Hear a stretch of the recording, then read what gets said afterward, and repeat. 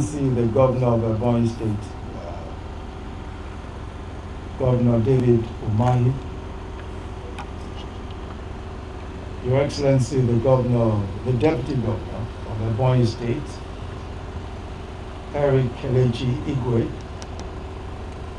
the Honorable Minister of Information and Culture, Alhaji Lai Mohammed, the Honorable Minister of State for Mines and Steel Development, Dr. Uche Ogah, the Speaker of State House of Assembly, the Right Honorable Ogbonnaya Nwifuru, the community leaders of Effium clan, Pastor Emmanuel Olo, the community leader of the Ezza clan, Barrister Dr. Utobo Joseph, distinguished ladies and gentlemen. First, let me uh, say that I'm here not on my own, I'm here on the special instructions and directives of Mr. President, President Muhammad Buhari, who was extremely concerned about what happened here uh, in these two communities between the uh, Ezza and Effium communities. The reason why this was a special concern is because, as you know, there have been several, these incidents have been repeated, just as the governor has said, time and time again.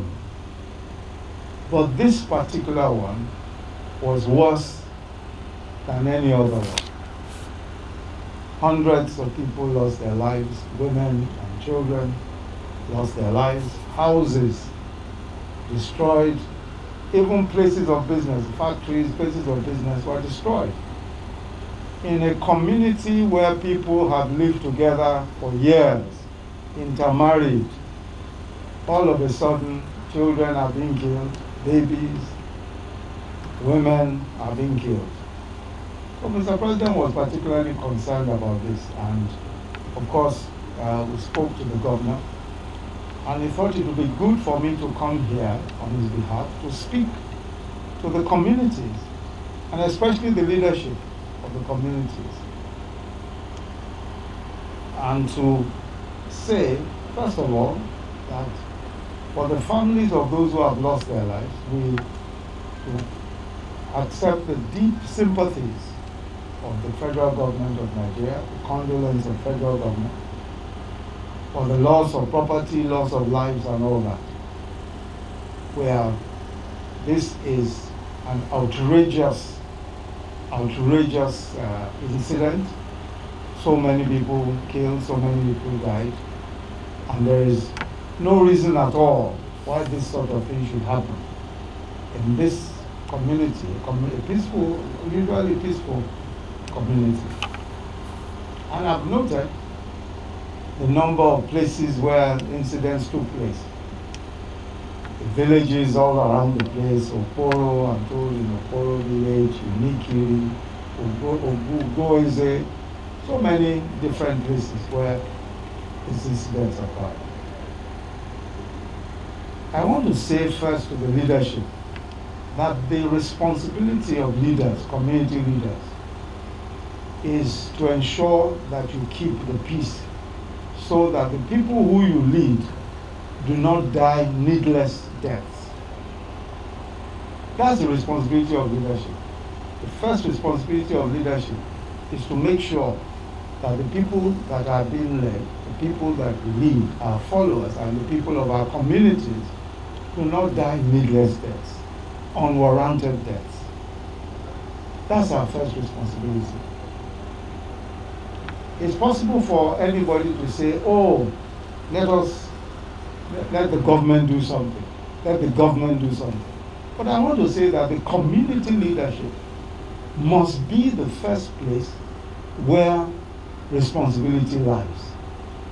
We must do something about peace in our communities. We must do something.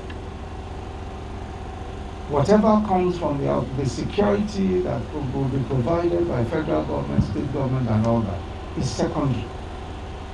We must ensure that we make peace. So for me, I think the very first step is that there must be amongst the community leaders themselves. And I'm very happy at the tone of the presentations that I've heard from the leadership of both communities.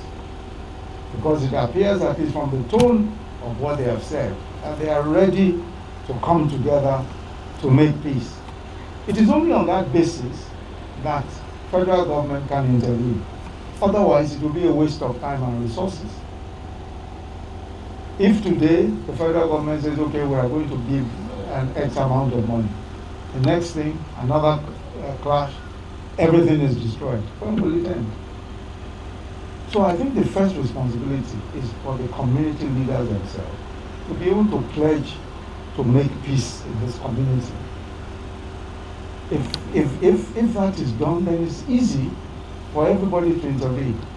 When this crisis started, we've been talking, the army, the president uh, ensured that the army deployed more units here. of course, you've heard about the, you know, what the army commander is doing, the police as well. Yes, we need more men, clearly. But the first line of peace is the community itself and the leadership of the community. As I said to His Excellency the Governor, who, uh, as you've heard from everybody, has done an excellent job of trying to ensure that peace is brought and returned to this place. As I've said to him, yes, we will make sure that we commit to making to bringing more uh, military and more police, more law enforcement, whatever we can do about rebuilding the communities, rebuilding houses that have been destroyed, providing shelter to those who, who need it in form of uh, reliefs from NEMA and all that. We will do, the federal government will do its very best. But we must make sure as community leaders that we take responsibility. I also want to join the, gov the governor in saying that there is no politics that justifies the death or killing of anybody. Politicians who uh, try and create a crisis and milk the death of others, that's it's, it's completely irresponsible. That's irresponsibility. There's no excuse for it.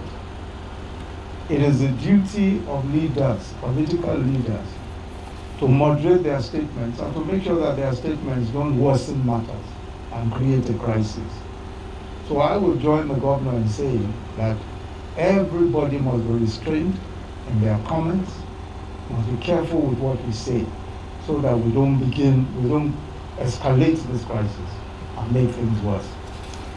I would like to commend everybody all of you who are, who are here and the leadership, the community leaders, for the work you have done so far in returning peace to this place. There's so much that can be done. As you can see, the ring road is, is being built. There's a lot of opportunities, economic opportunities that can come to this community, but not when uh, uh, factories are being destroyed and homes of people are being destroyed. So I really, really wish to urge you all, especially on this uh, day of Easter, that we should all find ways of bringing about peace so that growth and development of these communities can continue. I pray that the Almighty God will help every one of us, and God will help you and help our communities, not only to restore peace, but there will be progress in these communities and that all of what has been lost, you know, we cannot, there's nothing we can do about lives that have been lost. But at least we can look for ways of replacing properties and all of those that have been lost.